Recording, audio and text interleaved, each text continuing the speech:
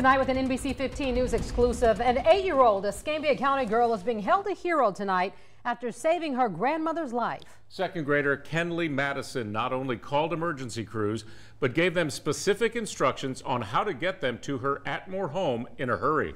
NBC 15's Corey Pippen spoke to Kenley and her school resource officer, who presented her a special award. The Escambia County, Alabama Sheriff's Office says it's not every day you see an eight-year-old do what Kinley Madison did, helping an ambulance get to her grandmother in the nick of time. I told them that please hurry up because she couldn't breathe. She, her breathing machine, she was, it really wasn't working.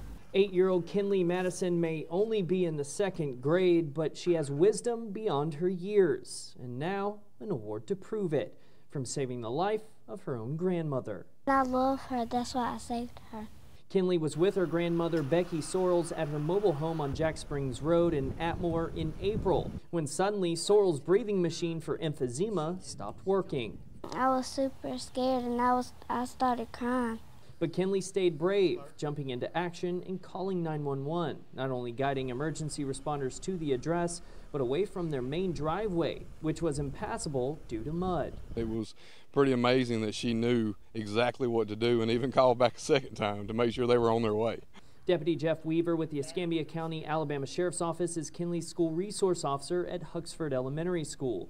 Last week, he and Sheriff Heath Jackson presented Kenley with their life-saving award. It's not every day that you recognize an eight-year-old in the community. For us to be able to do that with her would help her in her future to, you know, choose the right path. And if you ask Kenley, it means the world. It makes me feel happy and it makes me feel loved.